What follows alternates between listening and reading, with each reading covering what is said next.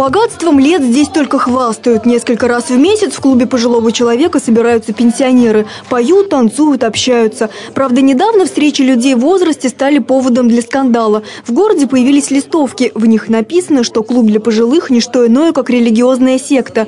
Чтобы завладеть имуществом пенсионеров, их пичкают психотропными препаратами. Эта листовка написана от имени э, управления МВД по Саратовской области. На самом деле я встречался с начальником Октябрьской милиции.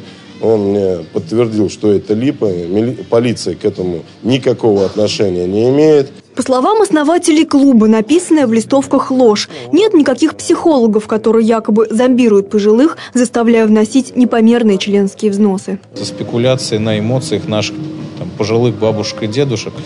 Э, потому что люди, людям не хватает общения, они сидят дома в четырех стенах. И, скажем, те минуты радости, которые они получают здесь, у них пытаются отнять. Алла Тихоновна клуб для пожилых посещает почти два года. Для нее это как душу отвести. Увидев листовки, говорит, глазам не поверила. Написанное там считает клеветой. Даже не стала до конца читать. Почему? Потому что это просто вот откровенная ложь, что это мошенничество, что это секта, что это э, сбор денег и прочее. Я не знаю, это ну, ну ни в какие просто рамки не входит. Кто именно и зачем распространял листовки, организаторы клуба пока не выяснили. Пенсионеров будут приглашать на новые встречи. Последнюю радость у них не отнимут.